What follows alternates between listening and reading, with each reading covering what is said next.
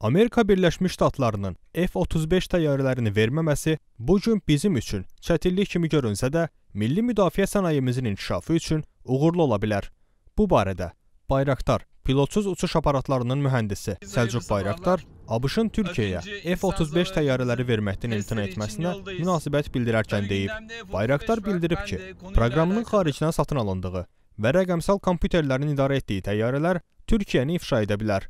Bundan əlavə, satın alma, istismar və təmir xərclərini nəzərə alsaq, bunlar bizim üçün baha başa gələ bilər. Bugün itibariyle bizim o kapasiteye sahip bir uçak geliştirmemiz 15 belki 20 yıl sürecek. Geliştirecek milli platformun tedariği, işletmesi, bakım ve idari maliyetleri düşünüldüğünde bir kere her halükarda F-35'ten daha az olacaktır.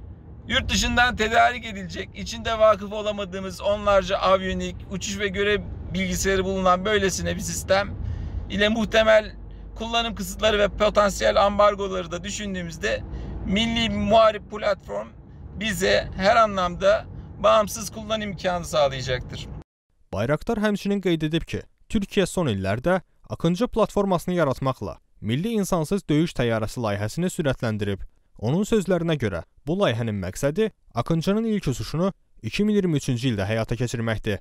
Kamil Əmirli, Paku TV.